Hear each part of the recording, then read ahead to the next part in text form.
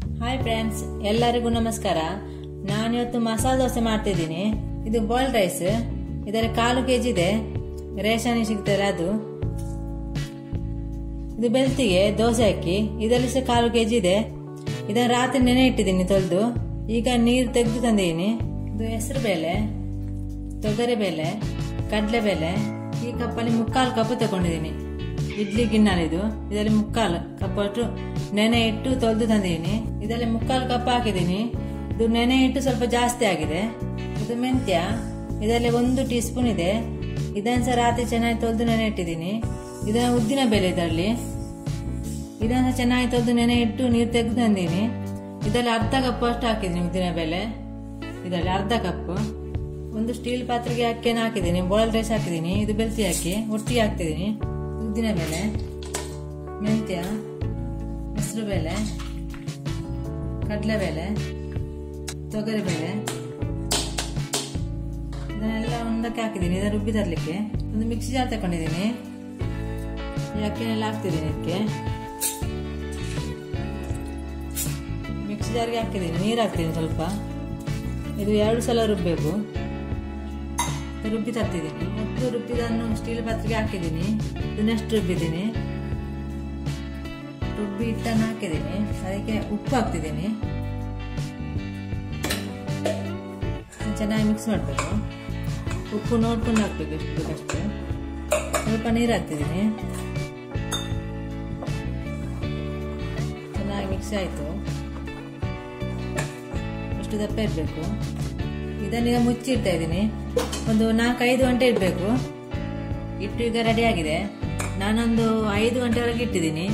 ಇದು ಏಳೆಂಟು ಗಂಟೆವರೆಗೆ ಇಡಬೇಕು ಹತ್ತು ಗಂಟೆವರೆಗೂ ಇಡ್ಬೋದು ಹಿಟ್ಟನ್ನು ನಾನು ಐದು ಗಂಟೆ ಮಾತ್ರ ಇಟ್ಟಿದ್ದೀನಿ. ಇನ್ನು ಬಾಜಿ ಮಾಡಬೇಕಷ್ಟೇ, ತೋರಿಸ್ತಾ ಇದ್ದೀನಿ. ಒಂದು ಬಾಣಲೆ ಇಟ್ಟಿದ್ದೀನಿ. ಎರಡು ಟೇಬಲ್ ಸ್ಪೂನ್ ತೆಂಗಿನ ಎಣ್ಣೆ ಹಾಕಿದ್ದೀನಿ. ಎಣ್ಣೆ ಯಾವುದು ಕೂಡ ಹಾಕ್ಬೋದು. ಎಣ್ಣೆ ಬಿಸಿ ಆಯಿತು, ಸಾಸಿವೆ ಹಾಕ್ತಿದ್ದೀನಿ, ಅರ್ಧ ಟೀ ಸ್ಪೂನು ಒಂದು ಟೀ ಸ್ಪೂನ್ ಉದ್ದಿನ ಬೇಳೆ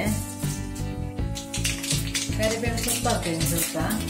ಶೂಟಿ ಹಾಕ್ತಿದ್ದೀನಿ, ಅರ್ಧ ಇಂಚು ಮೂರು ಹಸಿಮೆಣಸು ಕಟ್ ಮಾಡ್ಕೊಂಡಿದ್ದೀನಿ.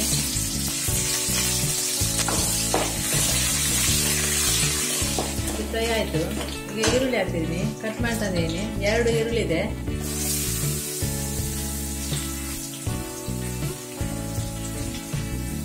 ಈರುಳ್ಳಿ ಚೆನ್ನಾಗಿ ಫ್ರೈ ಆಗಬೇಕು ಎಣ್ಣೆಯಲ್ಲಿ. ಈರುಳ್ಳಿ ಚೆನ್ನಾಗಿ ಫ್ರೈ ಆಯಿತು. ಆಲೂಗಡ್ಡೆ ಐದಿದೆ ಸಣ್ಣದು ಅದು ಬೇಯಿಸಿ ಹೀಗೆ ಮಾಡಿ ತಂದೇನೆ ಪುಡಿ ಹುಡಿ ಮಾಡಿ. ಚೆನ್ನಾಗಿ ಹಾಕ್ತಿದ್ದೀನಿ ಬೇಯಿಸಿ ಸಿಪ್ಪೆ ತೆಗೆದು ತಂದೀನಿ. ಪುಡಿ ಮಾಡಿ.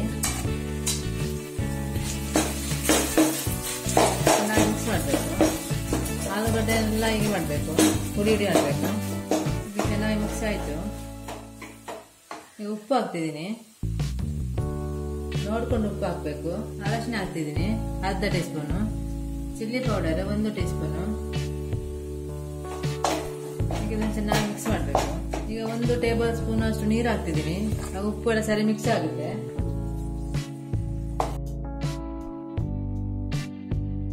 ಕೊತ್ತಂಬರಿ ಸೊಪ್ಪು ಹಾಕ್ತಿದ್ದೀನಿ ಸ್ವಲ್ಪ.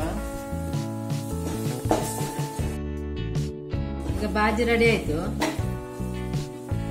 ಇನ್ನು ದೋಸೆ ಮಾಡುದಿನ್ನು ನಾಸ್ಟಿಗೆ ತವ ಇಟ್ಟಿದ್ದೀನಿ. ದೋಸೆ ತವ ಇದು. ಹಿಟ್ಟು ಹಾಕ್ತಿದ್ದೀನಿ. ತೆಳುವಾಗಿ ಬಿಡಿಸ್ಬೇಕು. ತವ ಯಾವುದು ಕೂಡ ಆಗುತ್ತೆ.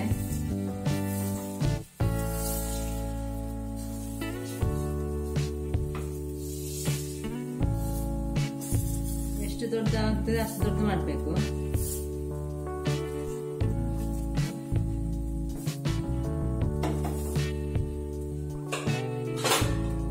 ಇದ್ದೀನಿ ಸ್ವಲ್ಪ ಹೊತ್ತು. ತೆಗಿತಾ ಇದ್ದೀನಿ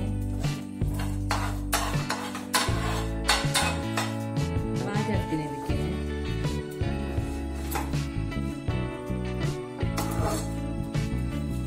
ಬಿಸಿ ತುಂಬ ಚೆನ್ನಾಗಿ ಆಗುತ್ತೆ ದೊಡ್ಡ ಕಾವಳಿ ಇದ್ರೆ ದೊಡ್ಡದು ಮಾಡ್ಬೋದು, ಇದು ಸಣ್ಣದು ಕಾವಳಿ. ತೆಗಿತಾ ಇದ್ದೀನಿ. ಮಸಾಲೆ ದೋಸೆ ರೆಡಿ ಆಯಿತು. ಚಟ್ನಿ ಸಹ ಮಾಡಿದ್ದೀನಿ. ಇದು ವೈಟ್ ಚಟ್ನಿ ಮಾಡಿದ್ದೀನಿ. ರೆಡ್ ಚಟ್ನಿ ಕೂಡ ಮಾಡಿದ್ದೀನಿ. ತುಂಬ ಚೆನ್ನಾಗಿದೆ ಕಟ್ ಮಾಡ್ತಿದ್ದೀನಿ. ಹೋಟ್ಲಲ್ಲಿ ನಾವು ಹೇಗೆ ತಿಂತೀವೋ ಹಾಗೇನೆ ಇದೆ, ಇದು ಕೂಡ. ಕಟ್ ಮಾಡಿ ಮಧ್ಯಾಹ್ನ ಕಟ್ ಮಾಡ್ತೀನಿ.